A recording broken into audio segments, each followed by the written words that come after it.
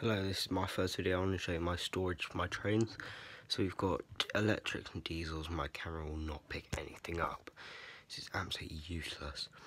So we've got diesels and electrics. We've got the dummy unit for the Pendolino. We've got 66079 and then my latest edition GBRF 66751 and then this is in the electrics and diesels section. Then we've got steam electrics and diesels. Uh, this is just a divider made out of cardboard.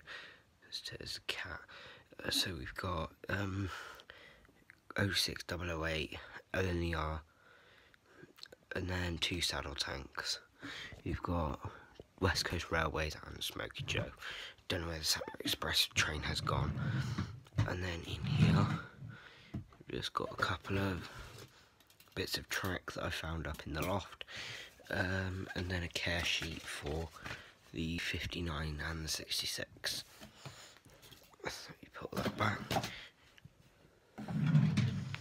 That, that was my first video. Hope you enjoyed. Oh yeah, and also I've got um, the found this earlier, the 2014 product range, and there's another 66 I want. This one here, the one in the catalogue, and I'm going to find them. They're about £60. And that's the box, my other one that I bought from the my local Hornby supplier. So that was my first video. Thank you for watching. Bye.